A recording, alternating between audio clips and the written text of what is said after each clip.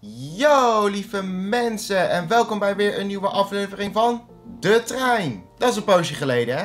En nog meer leuks. We gaan in deze aflevering voor de allereerste keer een stoomtrein bespreken. Namelijk de NS 6200. En om dat goed te bespreken, ga ik met jullie terug naar het begin van de vorige eeuw. Deze leuke stoommachines hadden één belangrijk inzetgebied, namelijk Zuid-Limburg. In het begin van de vorige eeuw werden er nog kolen gewonnen in dat gebied. En de gewonnen kolen werden weer vervoerd met de trein.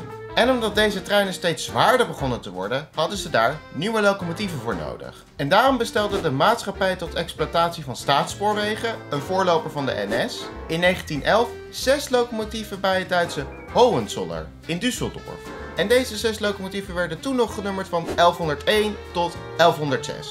Er werd direct gekozen voor het bouwen van een tenderlocomotief. Dit omdat de nieuwe locomotieven slechts voor korte stukjes door het heuvelachtige gebied zou gaan rijden. En het nadeel van een locomotief met een losse tender is dat hij aan het einde van de rit gekeerd moet worden.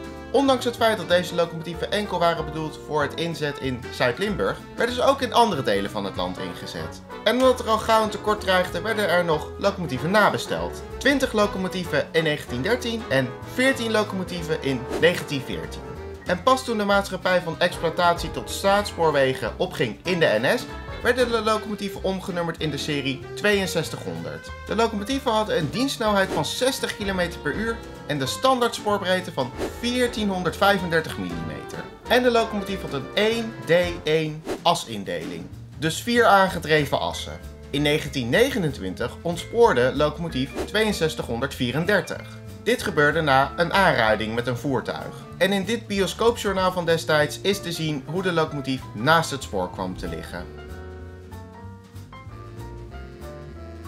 Na de Tweede Wereldoorlog waren 9 van de 40 locomotieven vermist verklaard. De overgebleven 31 locomotieven hebben nog een aantal jaar dienst kunnen doen. Maar tussen 1952 en 1957 werden dan toch alle 6200 locomotieven buiten dienst gesteld. Helaas, zonder dat er eentje bewaard is gebleven. En dat, lieve mensen, concludeert alweer deze aflevering van De Trein. Ik hoop dat jullie het leuk vonden. En willen jullie nou meer video's op mijn YouTube kanaal zien? Dan kunnen jullie altijd het duimpje omhoog doen op deze video en abonneren op mijn YouTube kanaal.